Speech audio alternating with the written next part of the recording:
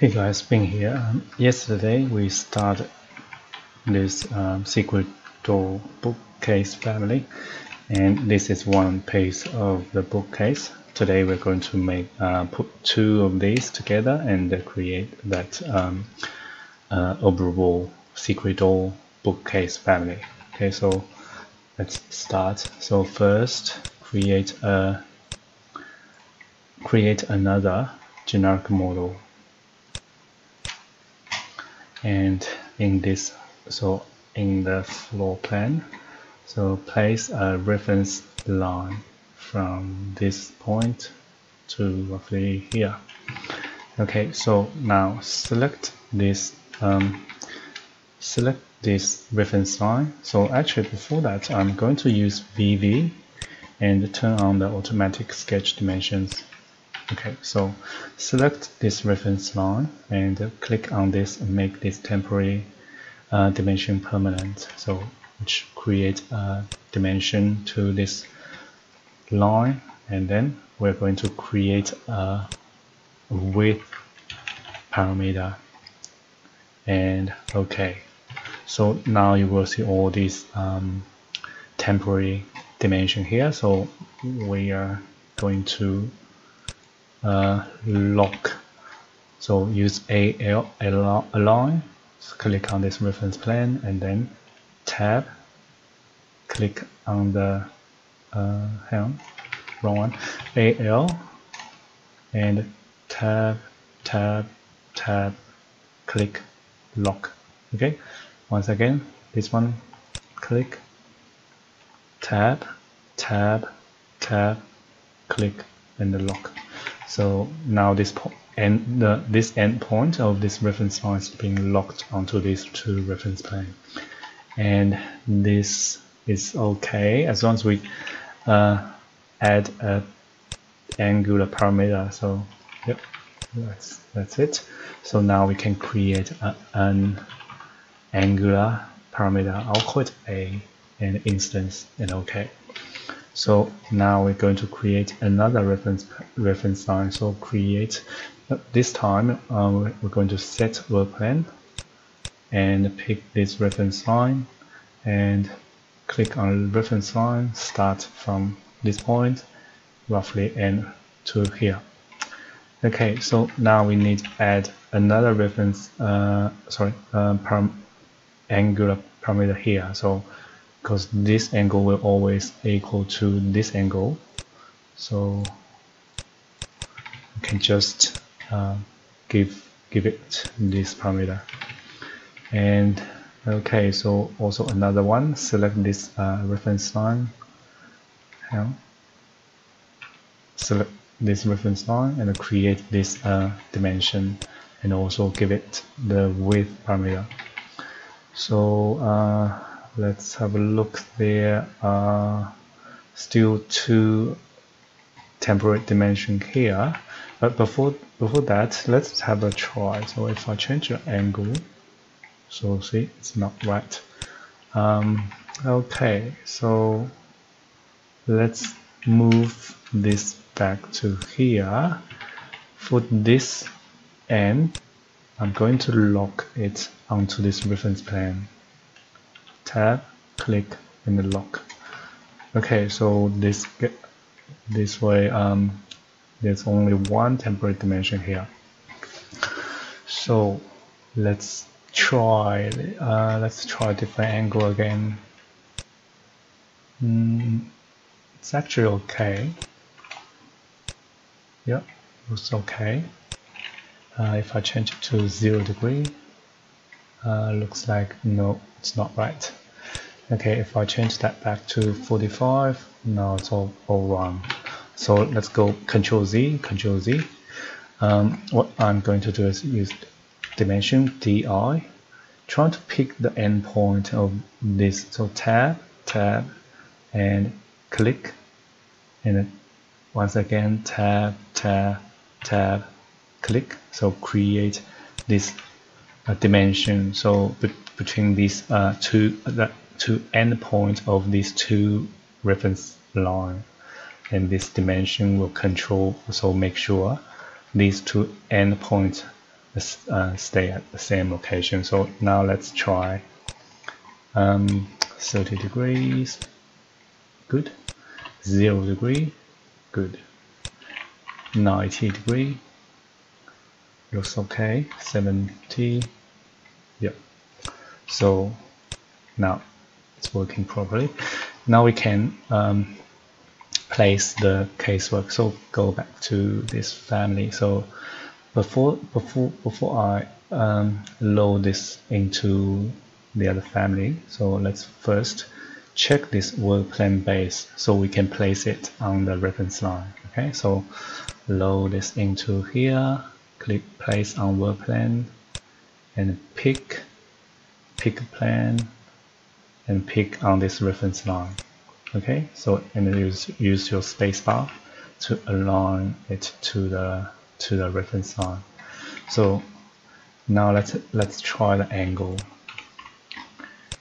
And you will notice that this family is not rotating uh, it's not aligned to the reference line now so it, the angle keep uh, stay the same. So what we need to do is we go back to this family uncheck the always vertical. Okay so and then load it back override so once again let's align this uh, case a bookcase to the reference line. So now uh, if I change the angle so it will follow the reference line okay so and now let's click on this family, click on this workbook case and edit type. So here we have this uh, width for this bookcase. So we're going to associate this family to this width, the width of the reference line. So if OK and OK. So we'll see this bookcase width will match the reference line uh, length, which is this width, this. Okay. So now let's try if we change the width of this, for example, 900, apply, and you will see uh, the book, the bookcase is no longer aligned to this reference line. Um, I think you can probably uh, create some dimension to lock it, but today I'm going to show you a different approach. Okay, so go back to this bookcase and in the floor plan. So if you click on this center reference plan, so you will see this is the origin defined, origin checked.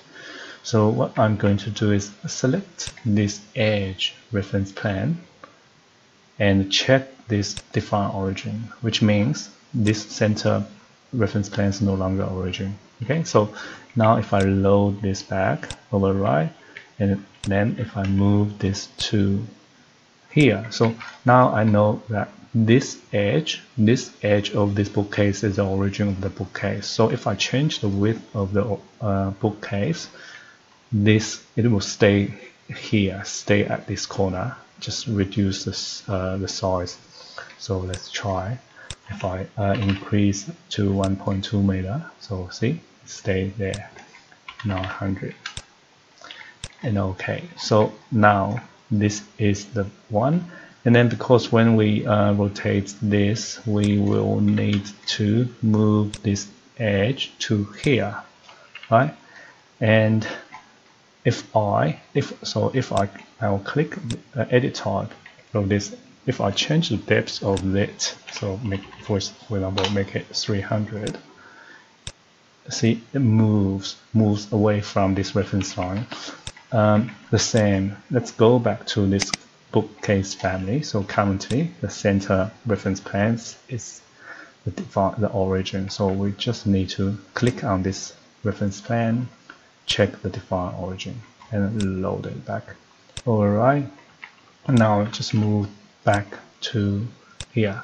So now we can just change the, so this is width, all good, and depth depth here so 400 oh good. Okay so now we can select this bookcase CS create similar place on work plan and pick work plan pick plane okay pick this work plan of this reference. Uh, line spacebar and place it at this point. So now if I go to 3d view if I um, hide all the annotation okay so we let we have a try we can have a try now. So for example angle 0 degree when it's closed 90 degree when it's opened. And um, and the width 900 0 degree 600 change it to 900 30 degree. And also we have because we have or I haven't um, create all these parameters we, we just need to so for for example the depth so I'll create a new parameter depth and height maybe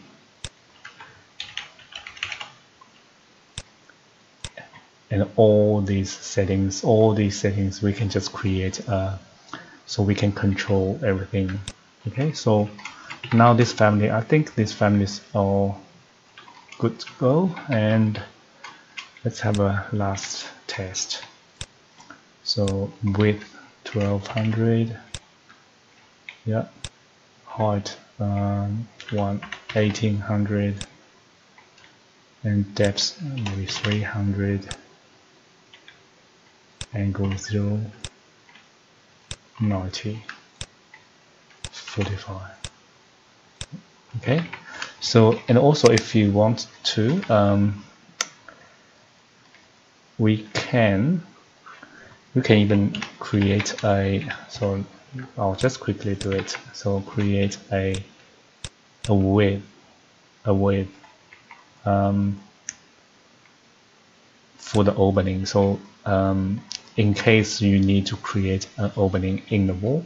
Because uh, we are not going it's not a door family so it's the uh, it, you can place it anywhere but we can still use a void to cut cut to cut an opening if we need to. So here I'm going to create a I'll call it a opening width and I know opening width will equal uh, to two times the width. Okay so opening width equals width times 2 okay and then I'm I'll just create a void extrusion and quickly do it roughly uh, like this. Lock and lock. And also uh, we can we can just maybe I'll link this to a height okay. So and go to 3d view. Oh actually this, one go to the other. Um, how can I make it go up? I don't know. Maybe we can go to the front view. Create a reference plane DI and link this to height and then I can we can select this void drag it up and lock onto this reference plane. So we still need to do this one. So cut with void when loaded. So check this one. So you will be able to use this family to cut a hole in your um, wall for example. Okay so this is it. Um, let's try. Let's have a test. So go to uh, let's create a project. And load this family into this project. Here. So for example if I have uh, a wall here. Go to 3d view. If I have this wall here if I need to cut opening so we can use cut wall this.